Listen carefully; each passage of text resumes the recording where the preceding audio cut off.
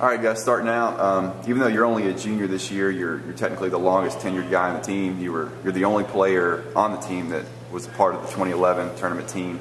Um, you know, what's that, do you feel like that, um, you know, molds your role at all? Do you feel like that uh, the people look at you as a leader, as the longest tenured guy on the team?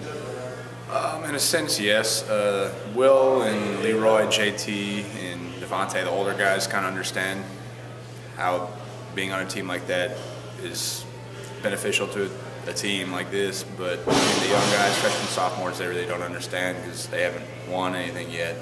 They don't understand, so they're just kind of happy to be here in a sense, happy to play. They don't really understand what it takes yet. Uh-huh. But I think um, I'm trying to lead every day with my actions and all that, and just be an example to the young guys to bring it every day.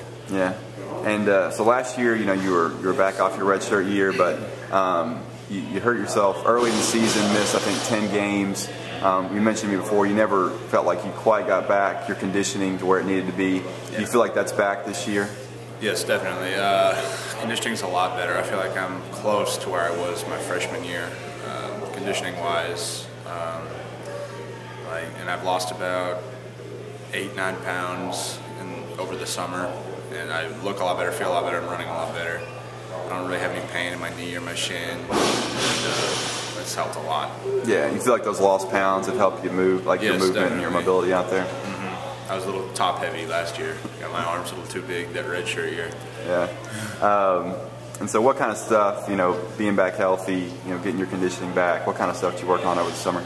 Um, really just staying low, uh, I have a tendency to kind of stand up straight, and which is a problem. But uh, I've really worked on getting to the basket and driving because the these rule changes, the benefit of the doubt goes to the offensive player every time, and uh, really just trying to get people in foul trouble. Essentially, pump fake, uh, don't go around people, go into people.